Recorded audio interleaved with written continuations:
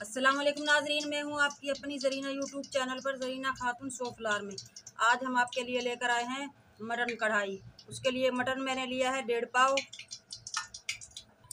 Oil मैंने लिए है ये छोटे वाले तीन चमचे। ऑयल गर्म होने पर हम सबसे पहले मटन को भून लेंगे। ऑयल हमारा गर्म हो चुका है। अब हम इसमें मटन की भुनाई करेंगे।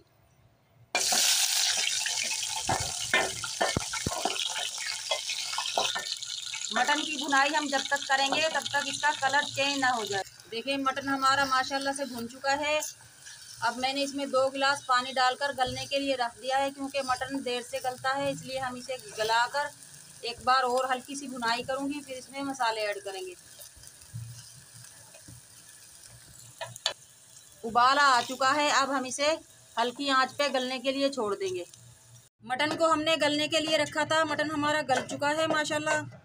अब हम इसमें अदरक लहसुन और दही डालकर इसकी अच्छी तरह से भुनाई करेंगे।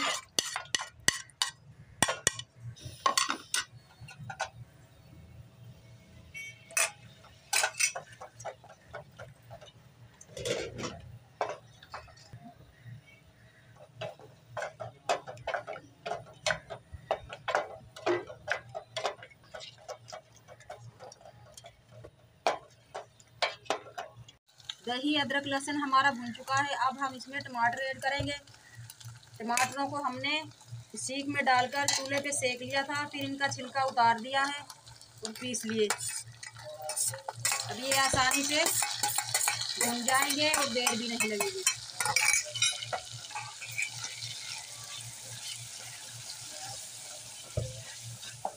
अब हम इसमें सारे मसाले ऐड कर देंगे। हल्दी, आधा चमचा।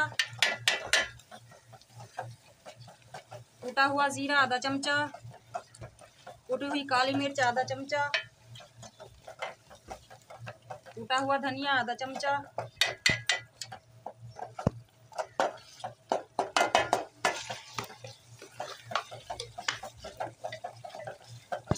नमक हसबे जायका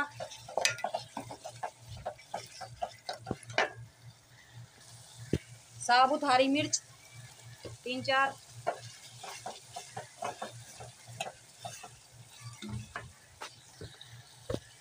लीमू का रस दो चमचे।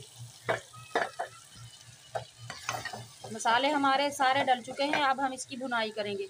ये देखें नाजिम माशाल्लाह, मटन कढ़ाई हमारी तैयार हो चुकी है। भुनाई कर ली है हमने अच्छी तरह से। अब हम इसे उतार लेंगे।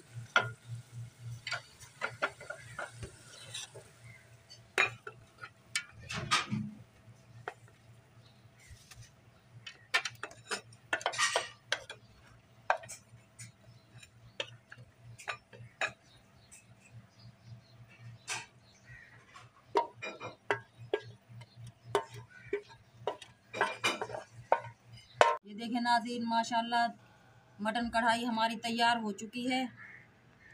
अब हम इसमें थोड़ा सा पिसा हुआ ज़ीरा, पिसी हुई काली मिर्च, हरा धनिया,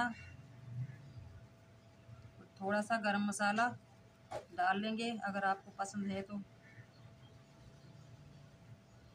मटन कढ़ाई की हमारी रेसिपी अच्छी लगे, लाइक करें, शेयर करें, सब्सक्राइब करें। कमेंट में ज़रूर बताइएगा कैसी लगी आज की हमारी मटन कढ़ाई की रेसिपी मिलते हैं अगली वीडियो के साथ। अल्लाह हाफिज़।